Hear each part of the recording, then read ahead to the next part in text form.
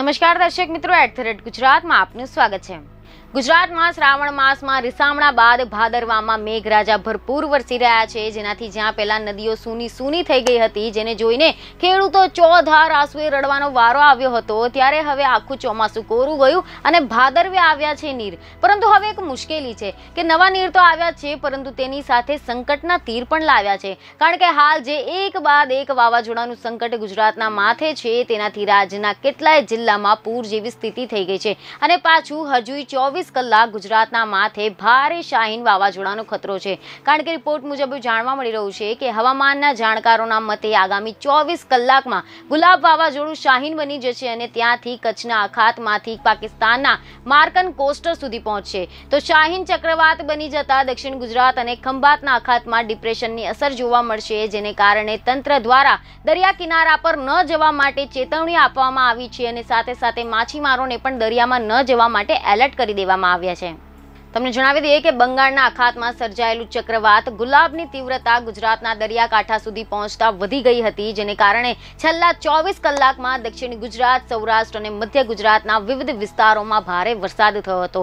જે બાદ હવે આગામી ચોવીસ કલાકમાં આ વાવાઝોડું શાહીન બની જશે, કારણ કે આજે વાવાઝોડું ડીપ ડિપ્રેશનમાં ફેરવાશે. જેનાથી દરિયા કિનારેના વિસ્તારોમાં પિસ્તાલીસથી સિત્તેર કિલોમીટરની ઝડપ સુધી પવન ફૂંકાશે, જ્યારે આવતીકાલે એટલે કે પહેલી ઓક્ટોબરે શાહીન ચક્રવાતનું નું સ્વરૂપ ધારણ કરી લેશે. જેથી સો કિલોમીટરની ઝડપે પવન ફૂંકાવાની શક્યતા છે અને બીજી ઓક્ટોબરે શાહીન પોતાની ચરમ સીમા પર પહોંચે.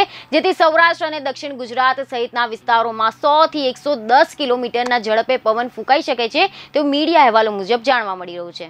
તો હવે વાત કરીએ કે આ તોફાનને ધ્યાનમાં રાખીને તંત્રની શું તૈયારી છે તેના વિશે, તો અહેવાલ અનુસાર ઇન્ડિયન કોસ્ટ ગાર્ડ શિપ દ્વારા વાવાઝોડાના કારણે દરિયામાં ગયેલા માછીમારોને પરત આવવા માટે આદેશ કર્યો છે, તેમજ ઓખા અને પોરબંદર સહિત ગુજરાતના કોસ્ટ ગાર્ડ સ્ટેશનોને એલર્ટ કરી દેવામાં આવ્યા છે. તે ઉપરાંત પોરબંદરના પોર્ટ પર ત્રણ નંબરનું સિગ્નલ લગાવી દેવામાં આવ્યું છે, તેમજ વરસાદના પગલે રાજ્યમાં એનડીઆરએફની વીસમાંથી સત્તર અને એસડીઆરએફની અગિયારમાંથી આઠ ટીમને ડિપ્લોય કરી દેવામાં આવી છે, જેમાં એનડીઆર એનડીઆરએફની વીસ પૈકી સુરત, વલસાડ, નવસારી, રાજકોટ, ગીર સોમનાથ, અમરેલી, ભાવનગર, જૂનાગઢ, જામનગર, પાટણ, મોરબી, દ્વારકા, પોરબંદર, ખેડા તથા ગાંધીનગરમાં એક એક ટીમ ડિપ્લોય કરવામાં આવી છે. જ્યારે એસડીઆરએફની અગિયાર પૈકી રાજકોટ, જૂનાગઢ, જામનગર અને ખેડા ખાતે ડિપ્લોય કરવામાં આવી છે.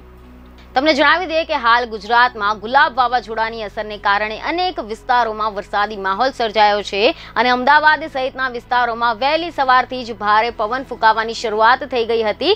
હવે રાજ્યમાં ગુલાબ વાવાઝોડાની સાથે સાથે ફરી એક બીજું શાહીન વાવાઝોડું અરબ મહાસાગરમાં તૈયાર થઈ રહ્યું છે અને આ વાવાઝોડું સર્જાવાને કારણે દરિયાકાંઠા વિસ્તારોમાં પવન સાથે વરસાદની તીવ્રતા વધશે અને આજે દરિયાકાંઠાના વિસ્તારોમાં પવનની ગતિ સાહીઠ કિલોમીટરની છે જે આવતીકાલ સુધીમાં એસી થી નેવું કિલોમીટર વચ્ચેની હશે, જે પહેલી ઓક્ટોબર એકસો પચાસ કિલોમીટર સુધીની પણ થઈ શકે છે તેવું હવામાન વિભાગ દ્વારા જણાવવામાં આવી રહ્યું છે. અને આ દરમિયાન ગુજરાતના મોટા ભાગના વિસ્તારોમાં ભારેથી ભારે વરસાદની આગાહીને ધ્યાનમાં રાખીને રાજ્યનું આપત્તિ વ્યવસ્થાપન તંત્ર એલર્ટ કરી દેવામાં આવ્યું છે. બીજની ખબરો સાથે ફરી મળીશું. ધન્યવાદ. તમે અમારા આ વિડીયોને જો યુટ્યુબ પર જોઈ રહ્યા હોવ તો તરત જ અમારી યુટ્યુબ ચેનલને સબસ્ક્રાઇબ કરો.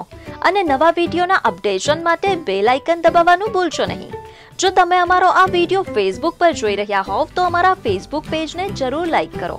વધુ અપડેટ માટે લોકસત્તાની વેબસાઇટને વિઝિટ કરવાનું ભૂલશો નહીં.